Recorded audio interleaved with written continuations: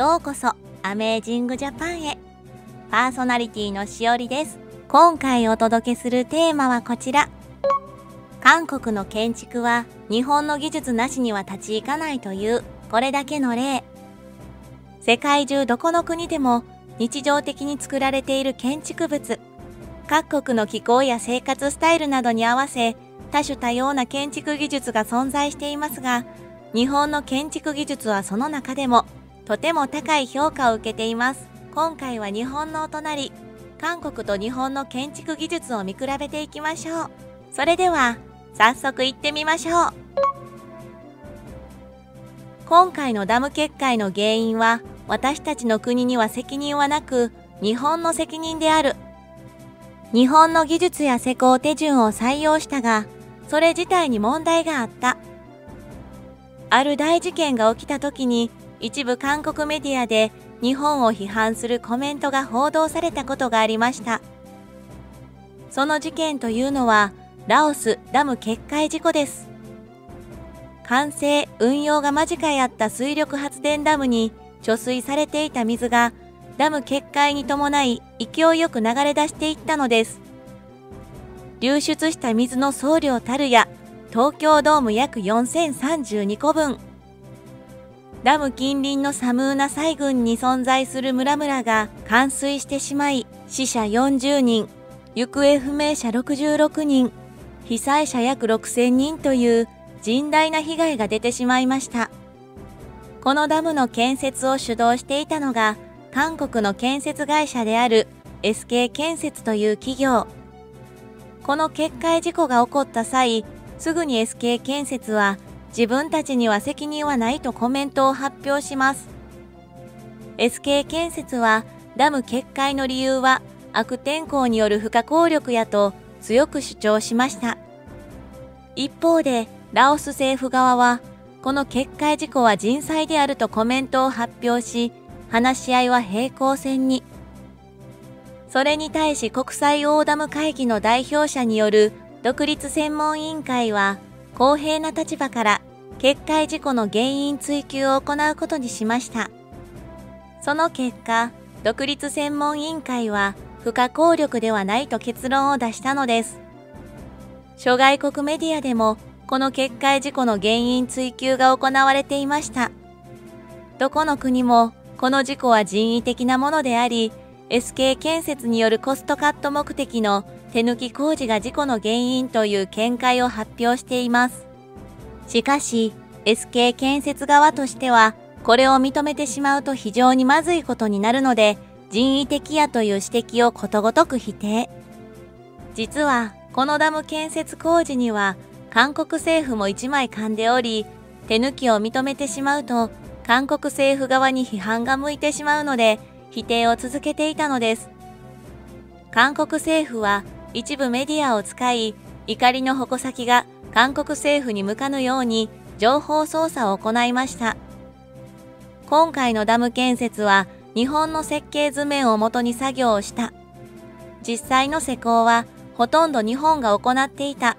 などの情報を流し、日本に責任を押し付けようとしたのです。しかし、日本は全くラオスダム建設工事には関与していませんでした。このように自国の過ちや失敗を日本に押し付けてくる韓国。実は、このラオスダム決壊事故以前にも同じようなことがありました。その中でも特に有名なものとして、ペトロナスツインタワーの一件があります。このペトロナスツインタワーは、1998年に完成した452メートルの超高層建築物。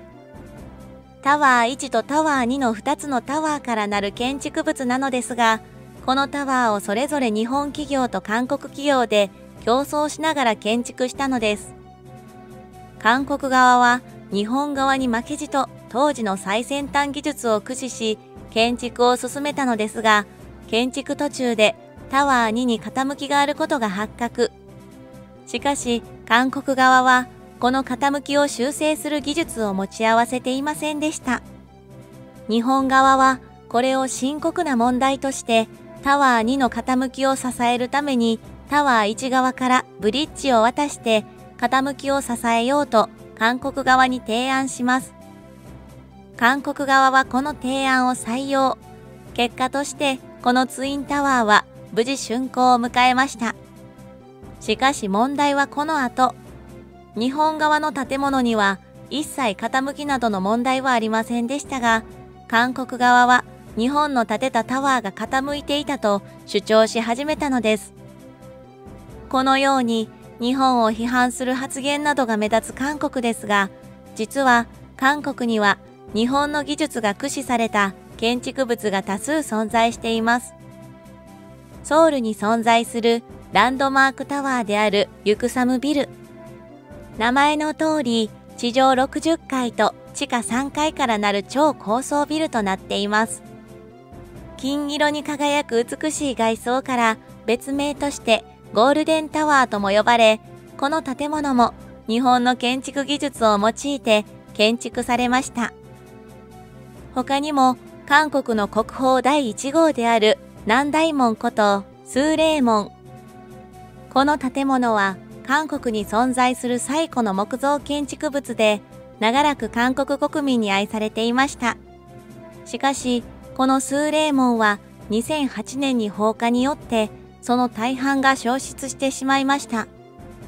韓国は電動工具などを使用せず、伝統的な手法で修繕すると発表しましたが、当時の染料や接着剤などを再現する技術が韓国にはなく、日本製品を使用し、修復作業を開始。加えて、建物の修復に関しての知識がなかったため、日本の金閣寺修復作業を参考にして修復が行われました。さらには韓国国民にとって日常的に利用されていた旧ソウル駅舎。非常に東京駅に似ている駅舎ですが、実は同一の日本の建築家によって建設されたものです。また、日本の建築技術は建物のみならず、韓国のインフラにも強く関わっています。韓国の空の玄関口であるインチョン国際空港。この空港と韓国本土とをつなぐために存在しているヨンジョン大橋ですが、こちらも日本の技術者が関わっています。サムスン物産を筆頭に各韓国大手建設会社が JV を組んで着手したヨンジョン大橋の建設工事。施工管理や設計などは日本の技術者の指示の下で行われ、強風や地震などにもしっかり耐えられる世界初の3次元自転式吊り橋としてヨンジョン大橋は完成しました。その後にインチョン空港からインチョン市内の村土に至るためのインチョン大橋もヨンジョン大橋建設を主導した日本の技術者によって設計が行われました。この両方の橋は現在も韓国国民の生活インフラを支える道路として活躍。この橋がなかった場合、物資の輸送なども円滑に行えなくなり、韓国国民の生活に大きな影響を与えてしまいます。韓国の人々の生活は日本の建築技術によって支えられている部分が多くあるのです。戦術のサムスン物産も韓国の技術力を集めたとしても日本の一個人の技術者の足元にも及ばないという発言をしています。実は、韓国の人々も本音のところでは日本の技術を尊敬している様子で、このようなコメントが多く見受けられます。デザインやインテリア関連の方面では確実に日本が優れている。建築は日本の中でもトップの業界の一つですね。有名な建築家をまともに輩出できなかった韓国と比較するのは厳しいです。80年代から90年代は日本が世界の設計を席巻していたよね。銀座に行ったけど華やかさや規模の全ての面でソウルの繁華街じゃ相手にならない感じでした。日本の建築技術は韓国には越えられない壁。何かあれば日本に責任を押し付ける韓国ですが、心の奥底では日本を認めている様子です。それにしても、批判などを繰り返す韓国の人々ですら、認めざるを得ないほどの日本の建築技術。その技術レベルの高さは、世界に誇れるものと言って間違いないでしょう。韓国のみならず、日本の建築物は海外の人々に高く評価されており、その中でも外国観光客の人々からの評価が非常に高い10の建築物を紹介していきます。10位は奈良東大寺。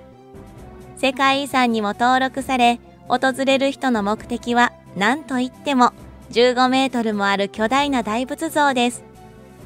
約1400年も前に建てられた東大寺そのものの巨大さにも圧巻されるようです。9位は日光東照宮神宮門。徳川家康の墓所として有名な日光東照宮。その豪華絢爛たる社殿を一目見てみたいと外国の方々は訪問するようです。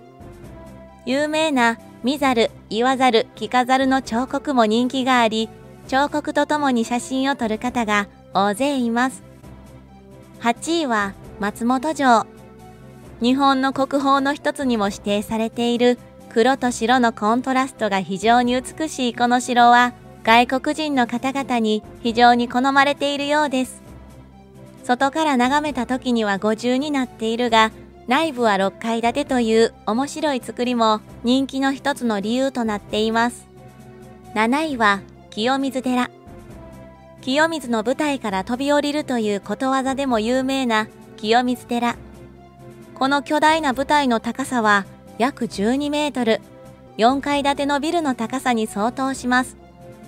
そして驚くべきは、この舞台には釘が一本も使われずに建てられているということ。その技術を一目見てみたいという方々が多く訪れています。6位は伏見稲荷大社。独特な日和田吹きの屋根となっている伏見稲荷大社本殿。この面白い形状も見どころとして人気がありますが、なんといっても訪れる方々のお目当ては千本鳥居のその光景。美しさの中に神々しさも感じられる、その光景が人気となっています。5位は東京タワー。東京といえば、と聞けば、東京タワーと返事が来るくらいに有名で人気のあるこの建物。パリのエッフェル塔からインスピレーションを得て建設されたこのタワーは国内外の人を問わずに東京のシンボルとして今でも広く愛されています。4位は東京スカイツリー。高さ634メートルの世界一高いタワーとしてその名を知られている東京スカイツリー。古くは五重塔などで採用されている真鍮というものから着想を得て開発された真鍮精神という最新の精神技術が採用されており、地震などにも非常に強い建造物となっているため、この高さを実現することが可能となりました。その一番上からの光景をぜひ見てみたいと、訪れる外国人の方々は後を絶ちません。3位は、厳島神社鳥居。会場に佇む赤く美しい鳥居が有名な厳島神社の大鳥居。潮の満ち引きで全く異なる様子を見せてくれるこちらの場所。その神秘的な光景を一度ぜひこの目で見てみたいということで、非常に人気となっています。2位は、姫路城。エジプトのピラミッドやフランスのベルサイユ宮殿などと同じく、世界遺産に登録されている姫路城。世界でも類を見ないほどの巨大木造建築物となっており、美しさも兼ね備えたその建築技術をこの目で見てみたいという外国の方々が大勢訪れています。1位は浅草の浅草寺。雷門と文字の書かれた大提灯。その横に凛と佇む風神雷神像が印象的な浅草浅草寺。東京に訪れた外国人の方は容易にこの場所を訪れることができ、その上境内には歴史的建造物も多数存在しています。日本という国の文化に気軽に触れられる場所として人気となっています。昔から存在する建築物から比較的新しい建築物まで日本の技術によって建てられた建築物は国民のみならず外国の方々からも非常に評価される建築物ばかりです。日本の最新の技術を用い建築されている現代の建築物も外国人の方々からは非常に強く興味関心を持たれています